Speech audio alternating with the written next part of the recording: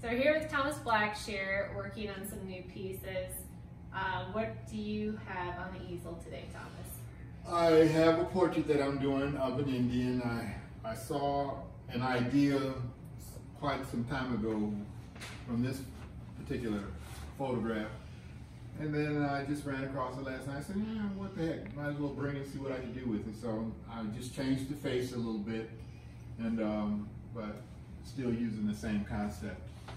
And uh, fortunately, uh, it looks like the painting is coming along pretty well. I still got a few things I want to do to it, but it's, it's doing okay. What was it about that image in particular that kind of caught your eye versus just this one? I like the bling.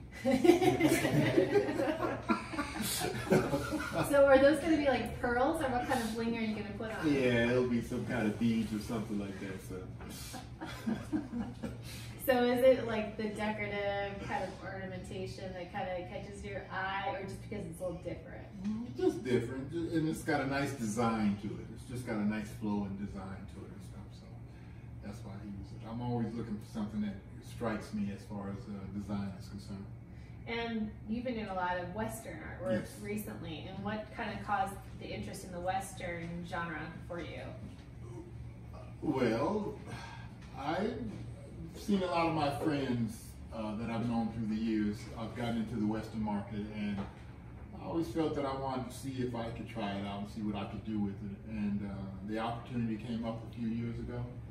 So I decided to, um, well, a friend of mine called me up and uh, Morgan Weistling encouraged me to try to pursue it. And he told me he'd do whatever he could to help me get in it. And um, I was able to go into one of his uh, openings at uh, one of the shows he was in. And he introduced me to some people. Next thing I know, I got a gallery. And um, then the next year, I was in the, the show with him at the Gene Autry. So uh, I've been doing this now for three and a half years. And um, I've been blessed. It's, it's working out well for me. You have such a huge body of work and like such a big variety of what you do. Do you think people would pick you as a Western artist, or how would you describe your style and artwork to others? Well, one thing that I've done that I'm I'm pretty proud of is the fact that uh, I've started a whole new genre for myself of Western art. I call my style Western Nouveau, and uh, I'm really excited about that because um, it just seemed to fit for what I do.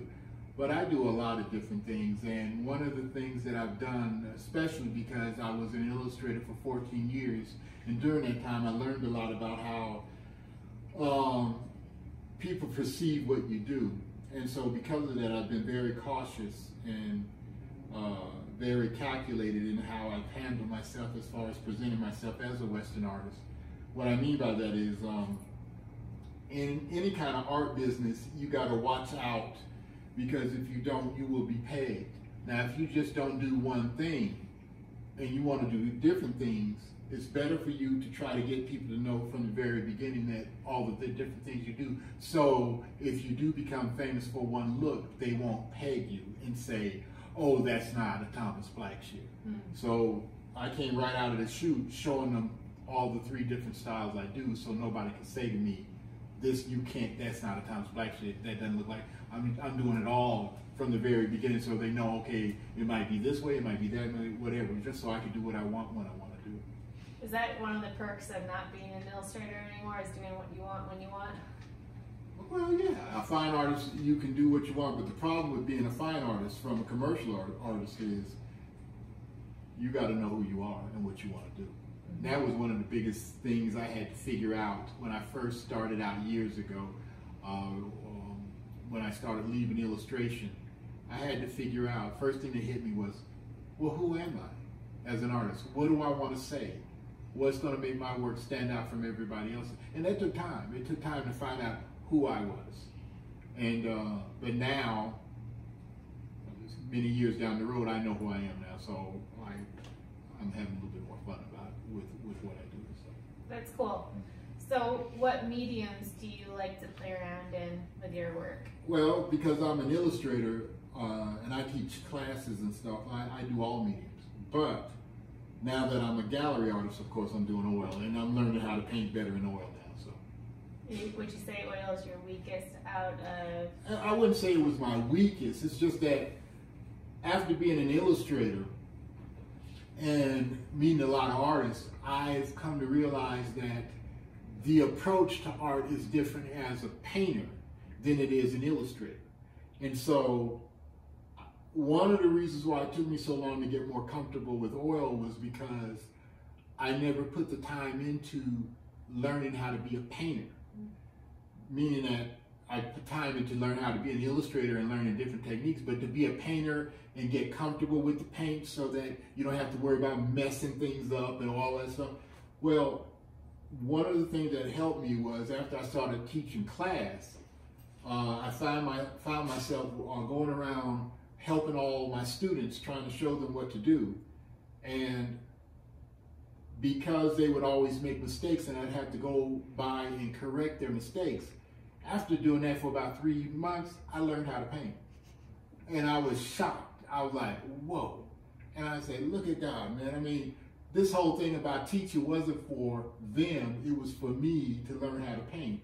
And now I'm very comfortable with paint, and so I can just do whatever I want to do and, and not feel that I'm not doing it correctly or anything. And it, has more of a painterly feeling to it too. So That's awesome. So something like this, how many more hours do you think you have left in it? Because you're you're painting this pretty fast. This is kind of coming out real real nice, real I'm- quick. this is coming out even fast for me. I'm like, okay, this, this is working pretty well. Okay, so um, I don't know. Um, Thank you for calling the. I think that if I had a couple of more hours in this, this would be done. Uh, but I'm, I'm really liking it because um, it's a more impasto approach. I started out as an illustration because I drew the whole thing out, and usually I do a certain technique and stuff. But no, I went and just started laying on paint on, and it's starting to all come together very quickly, even to the point where I'm like, whoa, why didn't that happen in my studio? Okay, so, so- but it's kind of funny. I learned this about myself for some strange reason. I don't know why it's this way, but it is this way for me. Okay.